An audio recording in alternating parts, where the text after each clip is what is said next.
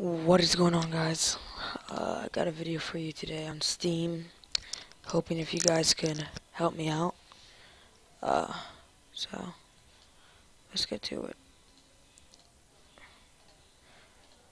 Uh, when I try to open games or certain games, um, as you can see right here, says Batman Arkham Origins.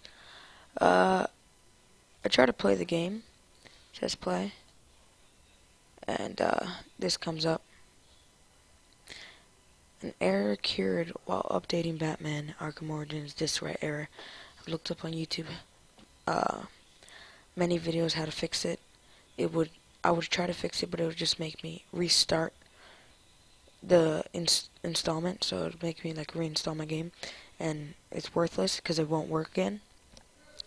So I was hoping if you guys can help me, uh, comment or send me a link to a good video that could uh, help me because I played this game for 60 minutes and then after I just started doing this and I really want to enjoy this game but I can't because of this of this like getting in my way. Uh, greatly appreciate it if you comment, if you help me out. Peace out.